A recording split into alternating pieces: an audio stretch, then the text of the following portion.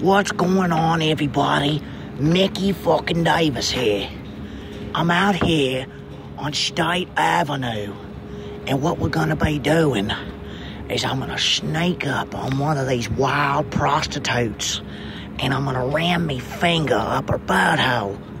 I'm just gonna jam my thumb right up her ass, and we're gonna see what kind of fight she puts up. But you gotta be careful, because if you don't wear some rubber gloves like I got on y'all, you can catch yourself an STD. We don't want none of that, so we gotta stay protected. I'm gonna ram, I'm just gonna run right up to her. I'm like, hey, you know, I'm gonna ram me thumb right up her ass. So we're gonna see what happens. Hey, hooker! Oh, shit. Uh, that's a rough looking hooker right there. Mickey Davis don't want no fucking part in that asshole. She might rip me finger right off my hand.